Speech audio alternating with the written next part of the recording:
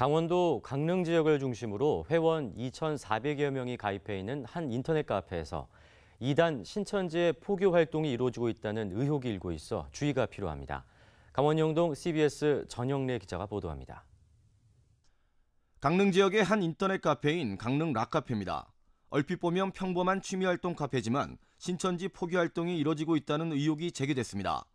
강릉 신천지 피해 대책연대가 제시한 자료에 따르면 신천지 측은 지난 2015년 1월부터 바리스타와 댄스 등의 취미 활동을 위장한 강릉 락카페를 운영하면서 회원들에게 조직적이고 체계적으로 포교 활동 지시를 내렸습니다. 이 같은 포교 활동의 결정적인 증거는 구역장으로 불리는 인터넷 카페 부매니저가 신천지 회원들에게 보낸 모바일 메신저 메시지에 고스란히 담겨 있습니다. 메시지에는 카페 활동 시엔 종교적이거나 우리의 SCJ 색깔을 띠지 않고 많은 외부인들과 온라인상에서 많이 친해져 모두 열매 맺는 우리 되었음 합니다라는 내용이 적시돼 있습니다. 내용 중에는 종교, SCJ, 열매 등의 단어가 나와 있으며 특히 신천지를 뜻하는 영어 앞글자 SCJ라는 상징적인 이니셜은 신천지 홈페이지나 관련 사이트 등에서 쉽게 확인할 수 있습니다. 또 다른 메시지에는 대형마트에 있는 일반인들을 물건 고르는 물고기라고 표현하며 이들을 포섭하기 위한 접근 멘트와 대화 내용까지 구체적으로 적혀 있습니다.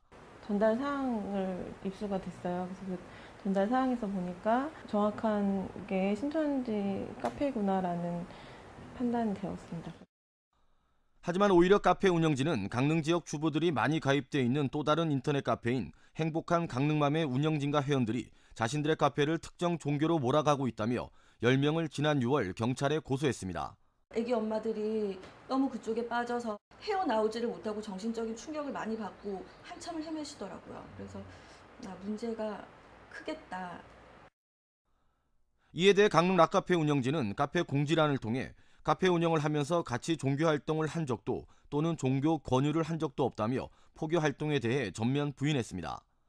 한편 강릉시 기독교 연합회는 지난 18일 원래회를 열고 이번 사건을 공론화하고 해당 카페에 대한 진상 조사 등 연합회 차원의 대응책을 강구하기로 결의했습니다.